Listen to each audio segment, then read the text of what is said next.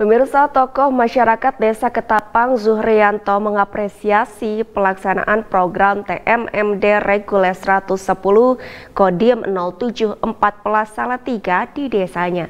Karena baru sekarang program tersebut menyasar ke desanya.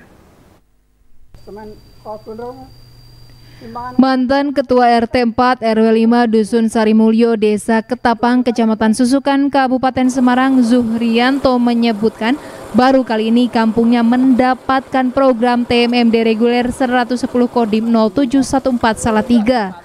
Pasalnya jalan kampung depan rumahnya tersebut sebelumnya tidak sebagus ini. Zuhrianto mengatakan seumur-umur baru saat ini ada pihak TNI yang mengerjakan pembangunan di wilayahnya. Tak hanya itu, dirinya pun mengungkapkan adanya pembangunan jalan kampung dengan cara dicor, ia tidak dipungut uang sepeser pun. Umur niki umur kula niku nembe niki gitu kan TMMD wong mboten ngino, mboten nyangka nak badhe keduginan menika kula. Dados niki pembangunan ini sangat masyarakat ini sangat remen mboten kantenan ing atase mriki keduginan niku lek dana mboten ngetokake, mboten napa-napa lek mung swadaya masyarakat. Mulane kiate mboten karuan niku nggih masalah niku. Saking remene niku Mas. Ngeten.